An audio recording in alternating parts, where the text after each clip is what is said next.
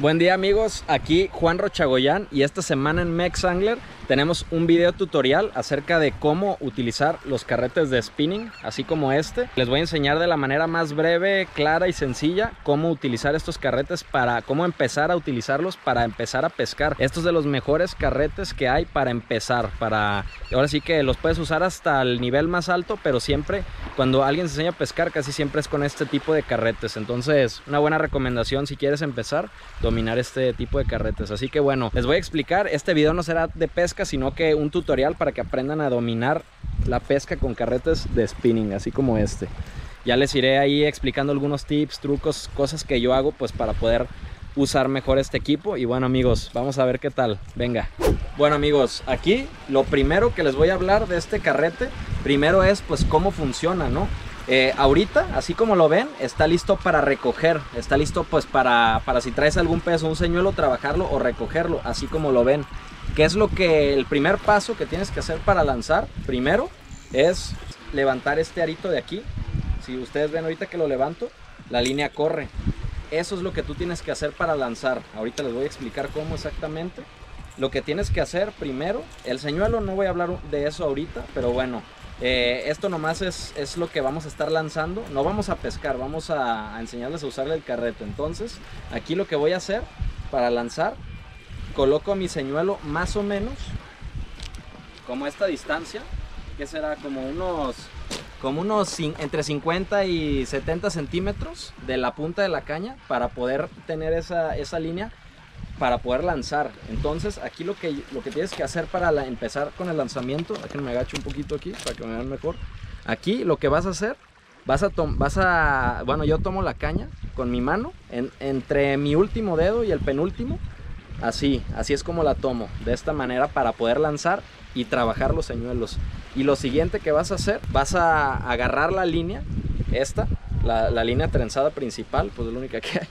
La tomas, levantas tu aro y aquí ya estás listo para lanzar. Ahorita lo que tienes que hacer o lo que hay que hacer para lanzar es hacer lo que viene siendo el swing y a la hora de soltar tenemos este dedo que quitarlo para que la línea corra, ¿ok?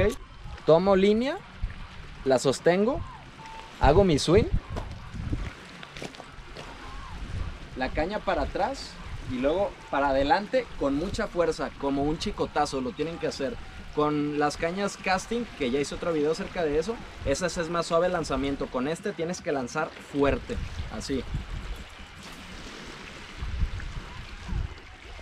Ahí está amigos, ese fue un muy buen lanzamiento, muy, muy buena distancia, como unos 30, 40 metros más o menos, con poco esfuerzo. Ok, ahí está, así es como lo tienes que lanzar. Miren, aquí lo que hay que hacer prácticamente, recoger, dejar el señuelo como esa distancia más o menos. Tomo con mi índice la línea, así, no sé si lo pueden ver ahí claramente. Lo tomo, levanto el aro, así, y ahora solo hay que hacer el lanzamiento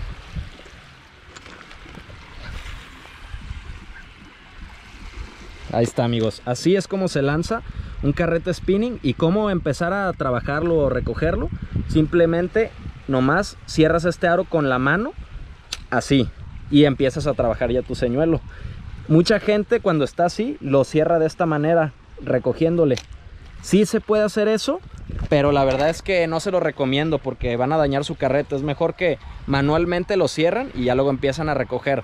Ese tip yo creo que les va a ayudar ahí a cuidar mucho sus carretes y les van a durar mucho, mucho más pescas definitivamente. Otro tema muy importante amigos con estos carretes, una recomendación que les voy a dar a la hora de elegir sus líneas. Eh, les recomiendo que para este tipo de carrete utilicen línea trenzada. Yo utilizo línea trenzada desde 10 libras hasta 30 libras en mis carretes de spinning. Este es un carrete de spinning 3000, ahí lo dejaré abajo en la descripción para el que quiera obtener un, pues un muy buen carrete. Esta es una muy buena opción, no es un carrete muy caro, está como cerca de los 2.500 pesos mexicanos más o menos.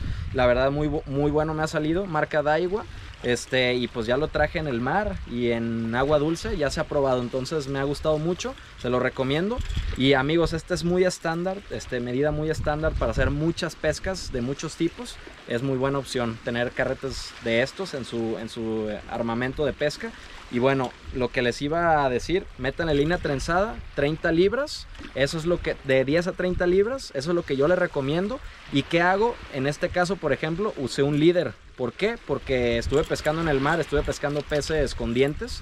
Entonces tuve que utilizar este líder así súper grueso, este que es como de 50 libras más o menos de fluorocarbono. Ahí le hice una pequeña unión. Eso le recomiendo que hagan, que, que pongan este, pues, un líder y aten sus señuelos al otro lado. Este, es muy buena manera de, ahorrar en línea porque pues esta línea ya me duró un buen rato. Lanzas muy bien y no se te hace casi los famosos nudos que se hacen de repente con estos carretes que son molestos. Con línea trenzada vas a eliminar mucho esa falla. Esto es muy importante. No sé si lo puedan escuchar, pero vean. Eso es el drag o la tensión de la, de la caña. ¿Qué es esto? Es para cuando tú traes un pez clavado y el pez está corriendo, no te truene la línea, ni te enderece los anzuelos, ni te rompa la caña, ¿verdad? Para eso es que se regula esto. Esto se aprieta y se afloja. En este caso de este carrete en particular, de esta marca, se, se aprieta y se afloja de aquí, de este, esta cosa que da vueltas aquí. Esto es lo que lo aprieta o lo afloja. En el caso de pescar con esta línea, pues sí, sí lo uso un poquito apretado. Este, la verdad exactamente es difícil explicar cuánto, pero yo más o menos lo dejo de que con, una línea de estas de 20 libras, yo lo dejo que lo pueda sacar, o sea, con mucha fluidez, pero que sí le, me cueste un poquito sacarlo. O también lo, lo jalo de esta manera hasta que se dobla mi caña y veo que está muy doblada, pero que sí le puedo recorrer fácilmente esa es otra manera. Aquí hay que tener cuidado. Les recomiendo que empiecen un poquito más flojo porque esta línea es muchísimo más fuerte que esta caña y entonces la puedes llegar a romper. Entonces cuidado, empiecen un poquito flojito y ya le pueden ir apretando luego.